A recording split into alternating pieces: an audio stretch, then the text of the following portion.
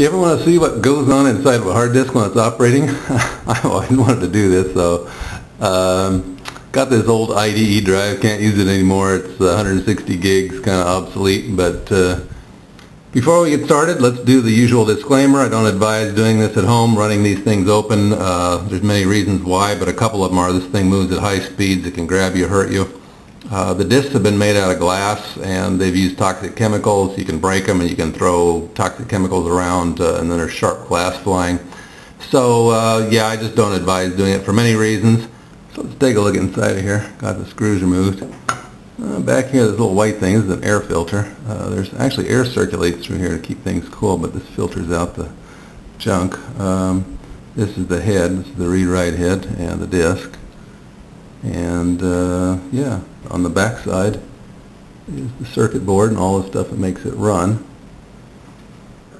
Okay, let's crank it up and watch her work.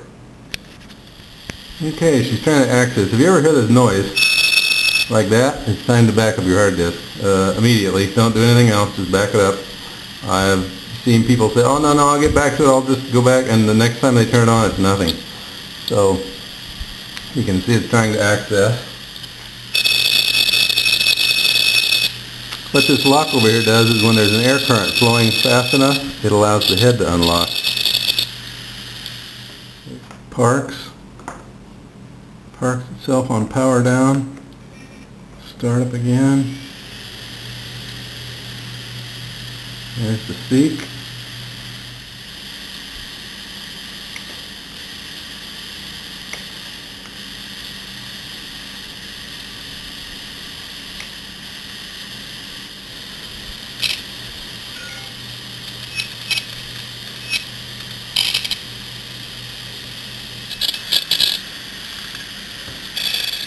Uh, lock. That's why I keep touching it.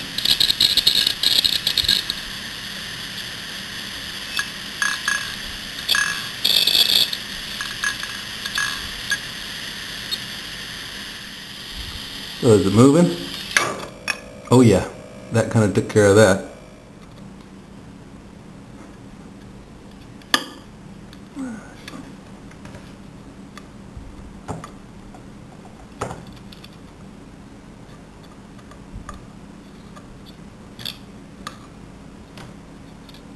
So what's making all this chatter? Well, it's the head. It's actually vibrating. As it goes over the surface, you can see when I touch it, it stops.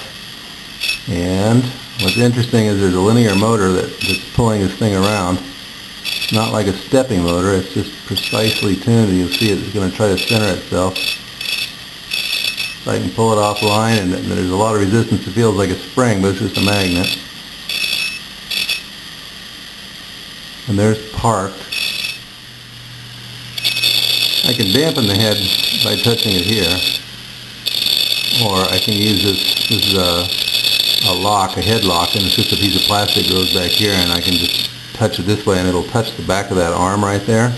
The arm goes back in here, has magnets on it, and they use coils to position it, mag uh, electromagnetic coils, and I can uh, quiet the screeching as the disc goes around, that head is pulsing on and off, and it sets up vibrations that you can hear. That. So I'm just barely dampening them out. Hard drives are really sensitive to vibrations. In fact, there's been cases where uh, people mounted hard disks next to each other without any uh, padding or whatever, any uh, shock absorbing material like rubber or whatever, and they'll set up a mutual vibration and they'll start failing one after another. There's also something else about this. Um, this thing's spinning really fast. This is 7200 RPM, and it acts like a gyroscope. It doesn't want to uh, move the logical way. Uh, there's another reason you shouldn't probably do this. I mean, if you get your finger on there or something, it can really hurt you. But uh, it is spinning fast, and uh, if you put enough of those platters on there, had enough mass, it would make a pretty formidable gyroscope at 7200 RPM.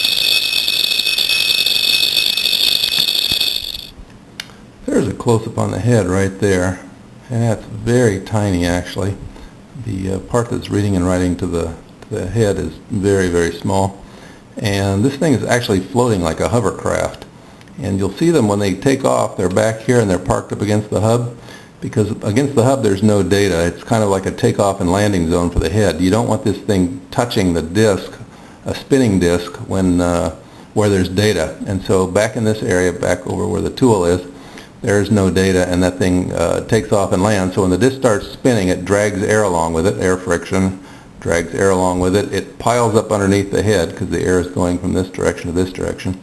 It piles up underneath the head and it lifts the head off and it just, like a hovercraft, uh, floats along on the uh, blanket of air.